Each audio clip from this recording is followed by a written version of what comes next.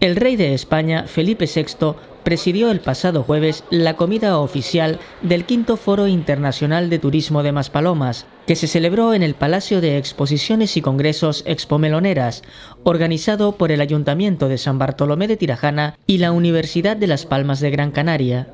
Maspalomas vuelve a ser centro de atención del turismo mundial en un momento extraordinario, en el que las Islas Canarias se han convertido, como se decía, en el primer destino turístico de Europa. Un hecho que evidencia la gran contribución de las islas verdaderamente afortunadas para situar a España como una potencia turística de primer orden en todo el mundo. Este éxito es sin duda producto del esfuerzo de todos los canarios. Estoy seguro de que este Foro Internacional de Turismo, Más Palomas, que cuenta con reputados especialistas de todo el mundo, a los que evidentemente les agradecemos su participación y presencia,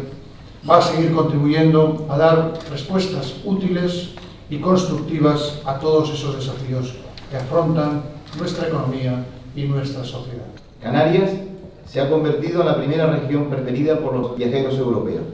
y San Bartolomé de Tirajana tiene además el honor de ser el primer destino vacacional de sol y playa en número de pernoctaciones en España y el tercero del conjunto del país tras grandes capitales como Barcelona y Madrid. Somos, estos pequeños territorios de sol y mar, los que contribuimos al reconocimiento internacional de la marca turística de España y también la base sobre la que se asienta la importante economía turística de nuestro gran país. Por eso le agradecemos, Majestad, su apoyo a este Foro Internacional de Turismo de Los Palomas el reconocimiento implícito que la Casa Real Española le brinda al objetivo de este Congreso es espejo de la importancia que nuestro rey le brinda al conjunto de la industria turística española.